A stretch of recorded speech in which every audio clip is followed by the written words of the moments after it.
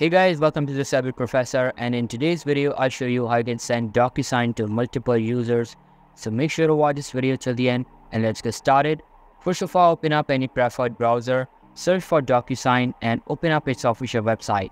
Make sure you're logged in over there and after that you will be redirected to the homepage of the website. Now on the homepage just click on start button to start creating a new DocuSign.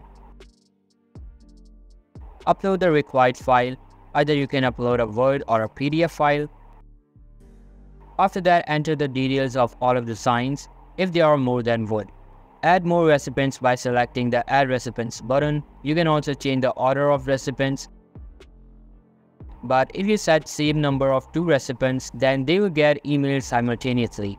After typing in all of the required details, enter a specific message at the end and proceed towards the next step.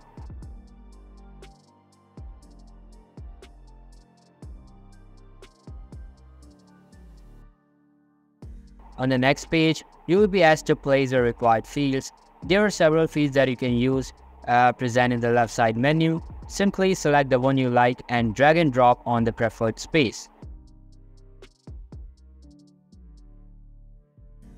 Once placed, just submit it and after that your document will be sent. This is basically how you can send DocuSign to multiple users. So that's all for today's video. Hope you liked the video. I'll be waiting in the next one. See you soon. Bye.